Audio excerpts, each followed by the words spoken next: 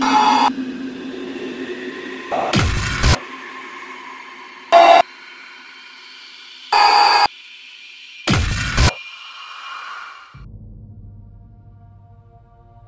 folks, Andrew here helping out Locke Vincent with a Gaming Alchemy Halloween horror review. Today I'm going to be talking about my time with Outlast, an excellent horror title from developer Red Barrels. Outlast is a fucking scary game. It's mostly jump out scares and mood music, but when you're the first person in control of the action, it's a lot different than just being surprised by a cat jumping out of a cupboard in an old horror movie. We've seen that before. But here, when you know something's coming, or you know the music's playing up and something bad is going to happen, you're more compelled maybe to just sit around and do nothing until you have a, a better game to play. Not because this game is bad, but because it's just horrifying. You play an intrepid reporter who has gone off to investigate the Murkoff Corporation or Murkoff's psychiatric systems, which have recently moved into Mount Massive Asylum, an old asylum that was abandoned and shut down years ago, but now this government contractor has taken over. So this this sounds good, you know, Murkoff's psychiatric systems. What could possibly go wrong here? So naturally, when you show up, something has gone wrong, and a security force has been dispatched uh, in more ways than one. There's bodies everywhere Unfortunately, with the limited graphics, all the bodies kind of look the same. They're all just the same one security guard killed over and over and over and over and over again throughout the entire game.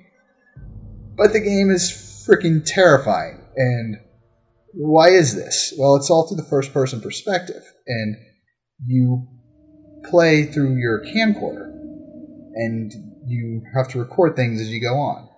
Now, luckily, you have a gun. No, I'm kidding. You don't have a gun. You don't have a 2x4. You don't have anything. You have your camcorder.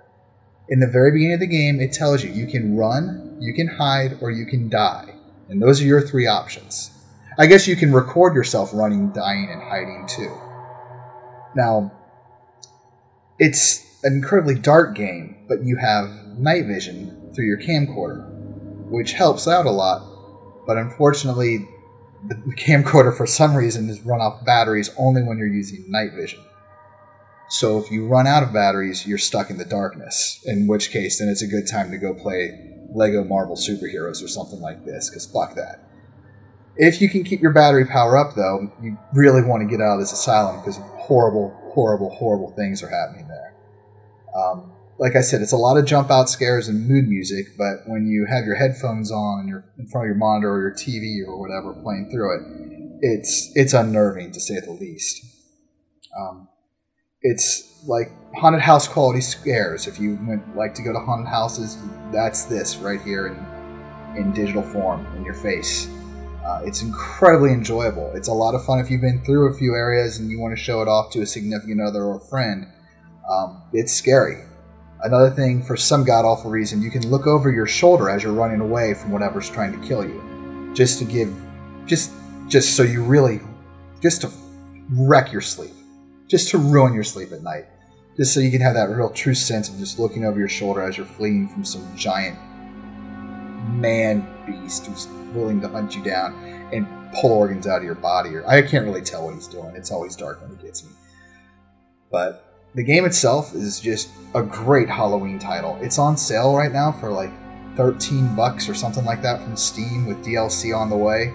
I highly recommend it for this season. You're absolutely going to love it if you're into scary games, especially scary games that leave you feeling helpless. Like I said, you can never fight back. It's just a, an adventure in, in terror.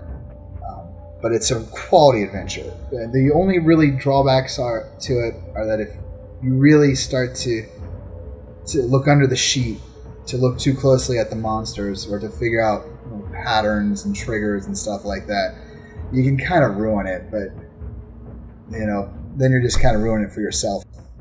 Good luck with that. Anyway, Outlast, pick it up. It's great. It'll scare you. Have fun.